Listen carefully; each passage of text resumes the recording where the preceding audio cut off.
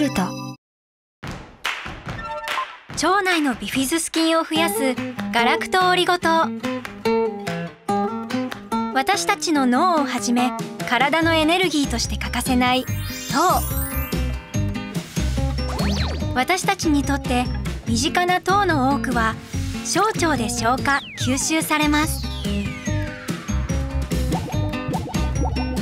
かしその糖の一種であるガラクトオリゴ糖は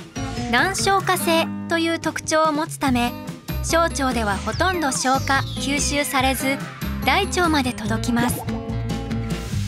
そして大腸にいるビフィズス菌の餌となり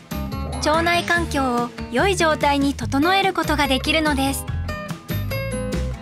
この機能はヤクルトの研究でも実証されています。あらかじめ事前の調査で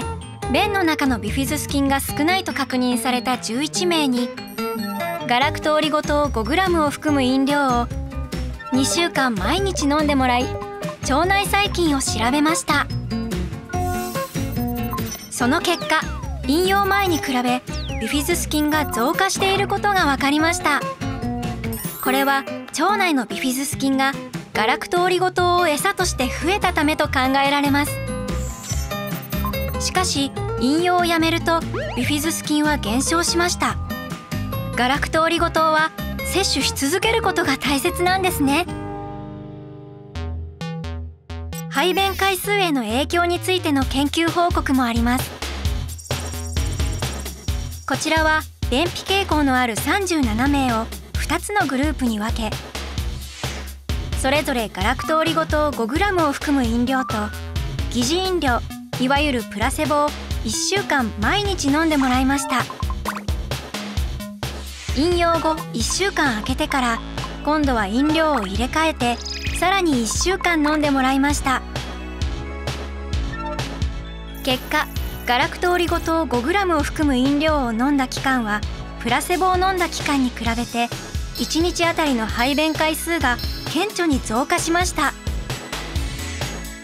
中でも排便が週に4回以下の人では1週間あたりの排便日数についても特に顕著な増加が見られました。この研究結果はガラクトオリゴ糖の摂取によって増えたビフィズス菌が乳酸や酢酸を作り出し腸内環境が良い状態に整えられたことで便通が改善されたものと考えられます。ガラクトオリゴ糖で絶好調な毎日を。これからもヤクルトは皆さんの健やかな生活を応援します。